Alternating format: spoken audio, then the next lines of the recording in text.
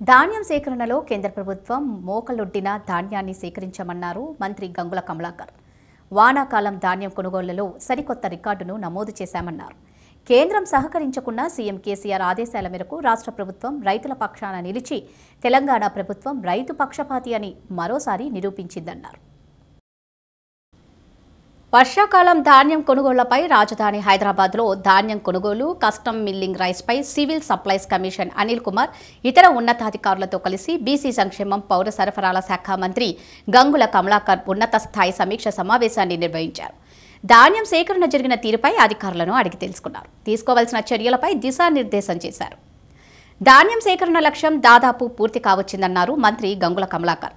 కేంద్ర ప్రభుత్వం నిర్దేశించిన నలభై ఆరు లక్షల క్వింటాల బియ్యానికి సమానమైన అరవై ఎనిమిది పాయింట్ ఆరు ఐదు లక్షల క్వింటాల ధాన్యం సేకరణలో జనవరి మూడో తారీఖు వరకు అరవై ఐదు పాయింట్ రెండు సున్నా లక్షల మెట్రిక్ టన్నుల ధాన్యాన్ని సేకరించామన్నారు.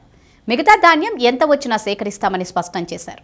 ప్రస్తుత వానాకాలం సీజన్లో కేంద్ర ప్రభుత్వం ఎన్ని ఇబ్బందులు పెట్టినా రాష్ట్ర ప్రభుత్వం రైతులకు ఇబ్బంది కలగకుండా ధాన్యం సేకరణ చేసిందని దాదాపు ఆరు వేల ఎనిమిది వందల అరవై ఎనిమిది ధాన్యం కొనుగోలు కేంద్రాల ద్వారా ధాన్యాన్ని సేకరించామన్నారు.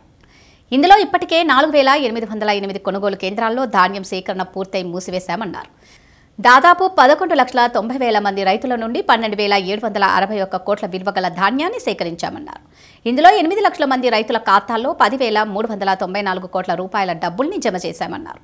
ఎఫ్సీఐకు సీఎంఆర్ అందజేసే ప్రక్రియ కూడా కొనసాగుతుందని ఈ వానాకాలంకు సంబంధించి దాదాపు నాలుగు లక్షల మెట్రిక్ టన్నుల బియ్యాన్ని మిల్లింగ్ చేశామన్నారు.